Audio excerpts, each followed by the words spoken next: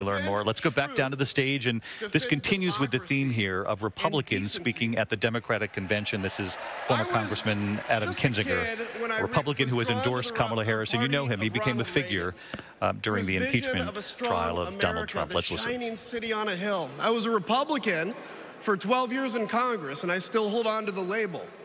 I never thought I'd be here, but listen, you never thought you'd see me here, did you? But. I've learned something about the Democratic Party, and I want to let my fellow Republicans in on the secret. The Democrats are as patriotic as us. They, they love this country just as much as we do.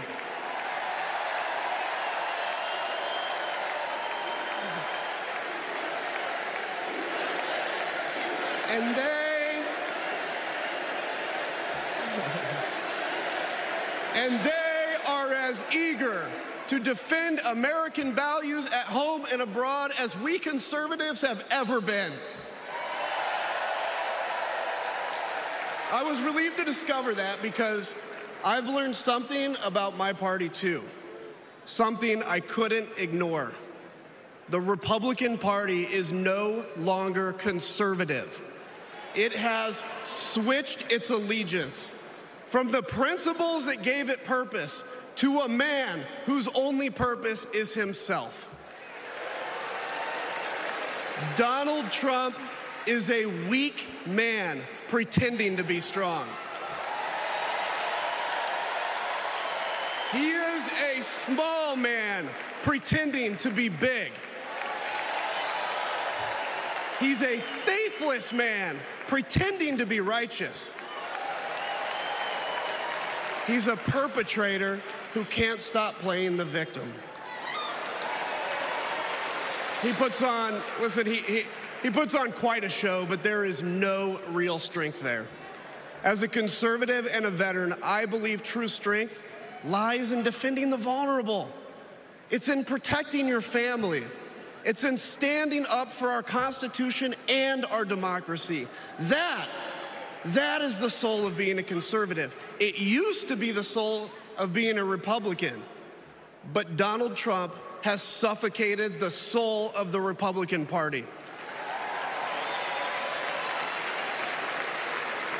His fundamental weakness has coursed through my party like an illness, sapping our strength, softening our spine, whipping us into a fever that has untethered us from our values. Our democracy was frayed by the events of January 6th as Donald Trump's deceit and dishonor led to a siege on the United States Capitol. That day, I stood witness to a profound sorrow, the desecration of our sacred tradition of peaceful transition of power, tarnished by a man too fragile, too vain, and too weak to accept defeat.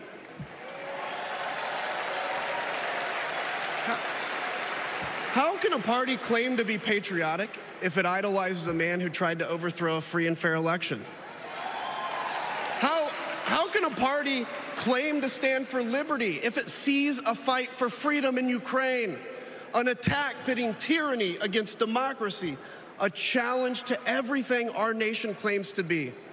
And it retreats, it equivocates, it nominates a man who is weirdly obsessed with Putin. And his running mate, his running mate who said, quote, I don't care what happens in Ukraine.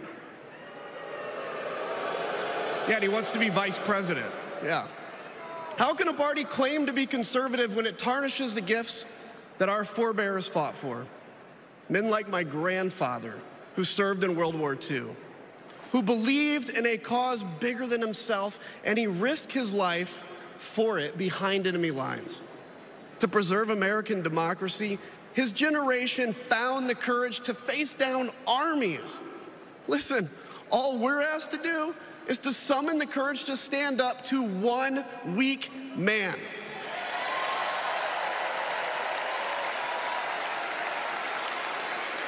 Some, some have questioned some have questioned why I've taken the stand I have. The answer is really simple, ladies and gentlemen. We must put country first. And tonight, and tonight, as a Republican speaking before you, I'm putting our country first.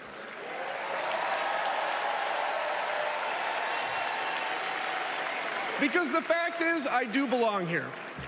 I know Kamala Harris shares my allegiance to the rule of law, the Constitution, and democracy.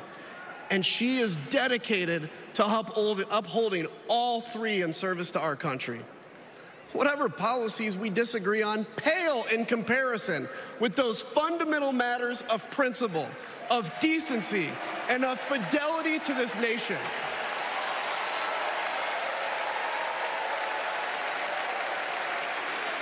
Listen, to my fellow Republicans, if you still pledge allegiance to those principles, I suspect you belong here too. Because because democracy knows no party. It's a it's a living, breathing ideal that defines us as a nation. It's the bedrock that separates us from tyranny and when that foundation is fractured, we must all stand together, united, to strengthen it.